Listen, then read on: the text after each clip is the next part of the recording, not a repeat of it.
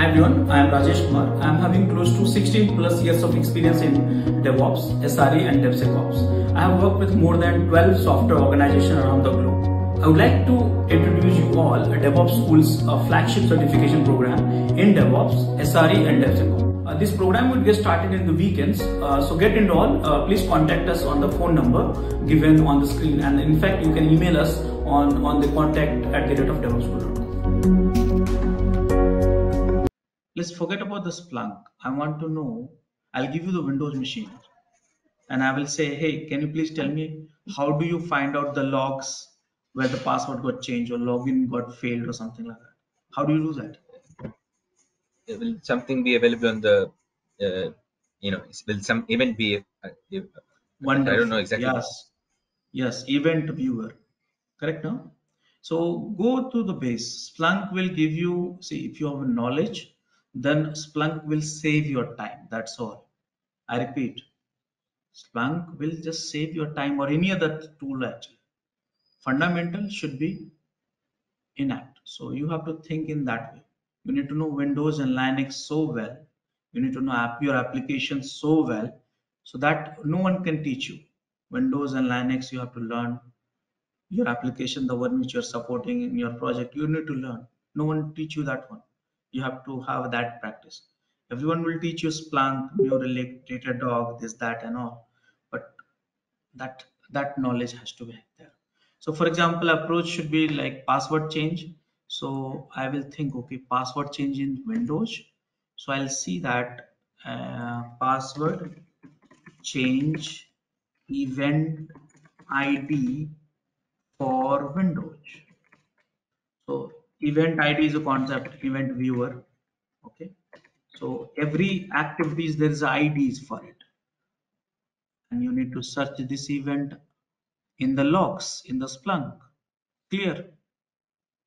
So any any logs the event id is equal to 4724 that is a password change clear? No need to think too much.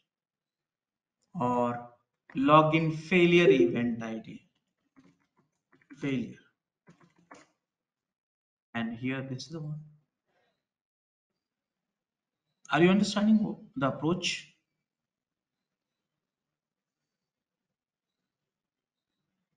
Hello? Yeah, yeah, got it. Uh, so build the approach and linux. So search for this there's like login failure. So this login failure will be in this file and this file and the pattern will be something like uh, uh, this file you can see that all the logs. And look at the pattern actually. Find out the pattern in that. Linux has a pattern based windows has id based actually. Right? So yes uh, for these uh, whenever whatever you want to find out go back to basics and see that what is your approach. Forget about the splunk. Let's say if you splunk is not there how do you do that? And that thing you have to implement the splunk to save time. So when you look at the logs what are the common fields you have at other logs? So some of the common fields you have are time source destination protocol and so on. So these are the common fields you may have a more also depends on the applications. So now the question is okay if i ask you to uh, analyze the logs, then what are the best practices you'll follow? By the way, Splunk will help you for this. But let's say if you are outside of Splunk, let's say you are only using the Linux command for it. So what you will do? You have a millions of log and you want to analyze it in Linux command. Let's say grep, grep command or sed command. So what you will do? So for that, first you have to detect the pattern and recognize it and then normalize the data. So pattern detection means whether it's an error message, debug message, info message, all these things has a certain pattern. So you have to get that. Then normalize the data means normalize the data means uh, let's put it in this way. You have a uh, you have a Apache log. Now, if you look at the format of Apache log in from India, they will have a different timestamp. If you look at the timestamp for Apache log uh, in USA, they'll have a different time zone, so different timestamp. So this is the same application log which is from Apache, but the formats are different. So you have to normalize, you have to convert one timestamp to another one. That is, we call it normalization or transformation or or uh, you know you can see enrichment or something like that then you have to tag and classify classify. Tag means uh, there is a field there is there'll be field but if you want to tag it for example there's a millions of application. Think in this way. Uh, millions of logs is coming from one application. Okay? So i know that this is the xyz application and these logs belong to this application. But i want to know this log from this application occurred in which server actually. How do you do that? So you have to tag that logs with some additional thing like server is equal to server 1 server is equal to server 2 server 3 so that the you have to tag that. Okay? And after that correlation analysis. Correlation analysis means uh, let's put it in this way. The user has hit the web server.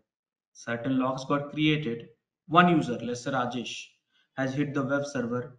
Log is created like that millions of users also hitting to that web server. Same time.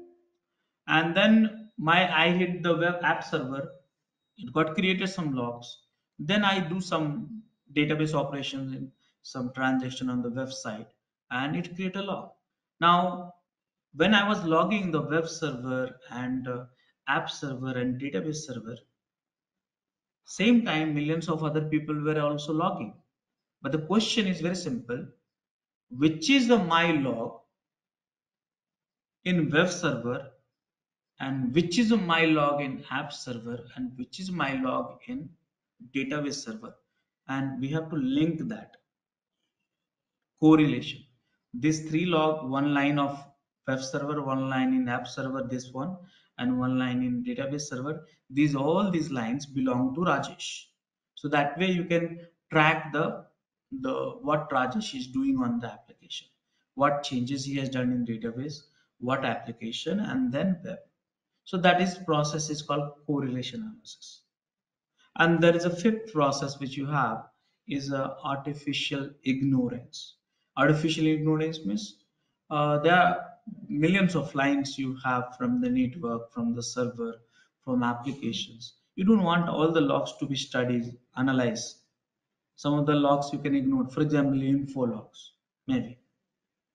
Okay? So that whenever you do the log analysis these are the uh, five best practices you need to follow. And most of the tools nowadays support these practices that means the tools will help you in terms of pattern and recogni- recognitions normalization tagging and classification correlation analysis and artificial intelligence. So these are the log analysis process. Collect the log data clean the data convert into structured format analyze of the data and obtain the result. That is what we are going to do. So generate, collect, aggregate, normalize, alert, store, summarize, make a conclusion and act on them. So which are the log analysis tool is available? So many Splunk is the one, the topic for the day. So some of the things I'm ignoring it because too much of data which we have it. This is the very simple architecture. I'm not complicating your understanding here. So how it works. So though the, the architecture can be complicated also and the full videos detail you can find in the LMS and uh, with a dedicated Splunk session also has happened so that you can find the full detail. But we have to learn Splunk today and in today's session. So we'll stick to this basic uh, uh, workflow, basic architecture. So here we have one one keyword which you see that is called search head. So what is a search head? Search head is just application using that you search just like a google.com. What you do? Search something. There's one box and there you search for it. So like that, there is a search head. So search head, if you look at the arrow very carefully, then there is a one uh, component which is called indexer. Okay, so search head searches the indexer, which is the database. So we call it index. So basically we search the index, but the, how the index get the data logs basically. So forwarders, there is a universal forwarder and this forwarder you can install in the Linux, Windows, Mac, web forwarder, script forwarder, a hell lot of types of forwarders are there. Okay. So these forwarders take the collect the data from the different different sources and stored in a indexer. So first we'll we'll set up this uh, uh, this architecture and then after that we'll start searching the techniques of search. Are you comfortable all of you? Yeah. So, but again, I said when you set up an enterprise one, it can be very complicated architecture. Not complicated, I would say. If you understand, it's not complicated, but it's not that easy to begin. So you're starting, so go with this flow. Okay, so this is the something which we have to do that, and this is the workflow actually. So data input, we have it from the forwarder. Again, there's a different different types of forwarder. Okay, universal forwarder, heavy forwarder. I don't want to confuse you too much. So forwarder, you can say like a agent, simple way agent which will collect the data and store the data in the database. But before st- storing the database, we have a parsers also. Uh, if you remember that in ELK, we had a Logstash, Beats was acting like agent, and then Elasticsearch was a storage, and then Kibana as a search it. So if you if you look at the Datadog also, it's the same thing. Architecture will be same thing, but they call it a different different name, so we get confused. Okay, so input is like agent, forwarder, parsers, indexing, and then search. Okay, so these are the things which we have. So here you see that data input is done by forwarder, parsers and indexing is done by indexers, and searching is done by searcher. These all component can be in a separate machine also. Okay, forwarder can be separate, uh, has to be separate. By, the way, enterprise has to be separate. For learning purpose, we will install in one box. Okay, so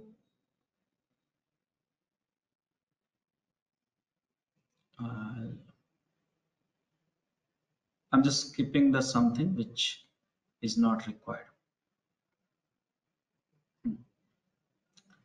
So uh, in Splunk, we have a concept called index. So what is an index? So index, basically you can call them something like a database in the simple terminologies. Okay. So we can call them database. Database where the all the data is being stored. So you can create a multiple indexes. But there's one index which is a default uh, set by Splunk, and that name of the index is uh, main actually. Okay, so again, this uh, uh, the Splunk Enterprise Index contains a variety of files. Uh, these files fall into this uh, main category. So one is the raw data, and another one is the index that point to the raw data, and there's one more file T SIDX files and stuff like that. So right now, don't get lost in this stuff. But yeah, you if you become ex if you are focusing only on the Splunk, the an admin part of it, then you need to know actually. So you'll have a fields. So look at this here. This is the screenshot of Windows machine. This is the event viewer. So if you see that application log, security log, setup log, system log, forwarded logs and all. So here you have an event like a keyword is a field, date and time is a field, source is a field, event ID you saw that field, task category is a field, log name, source, these all are field. So tags.